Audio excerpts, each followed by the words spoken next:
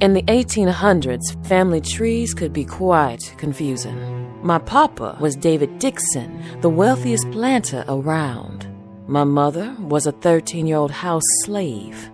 Through the years, it's unclear to me what my papa's affections were towards my mother. If he thought fondly of her, or she was just chattel. Even though her duties kept her in the main house near me, we led very separate lives. You see, although by birth I was a slave because my mother was a slave, I was also David Dickson's only child and raised as such learning all the things privileged, proper white ladies needed to know.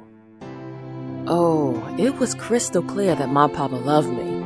He not only made sure I was taken care of while he was alive, but that I was taken care of even after he died. You see, before his death, he secretly drew up an ironclad will that guaranteed I would inherit the bulk of his very vast estate.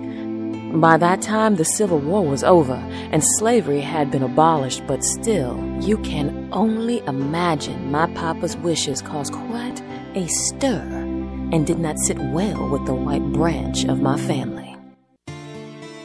They contested the will even though my papa made it clear that action could void their right to any inheritance. The trial took place right down the road in Sparta at the courthouse. I have to give the all white male court of Hancock County and later the Supreme Court of Georgia much respect.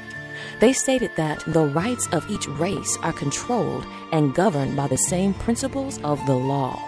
Much to the chagrin of my father's kin and perhaps the tide of public opinion, the white judicial system upheld my papa's will and granted justice, making me the wealthiest black woman in America during that time.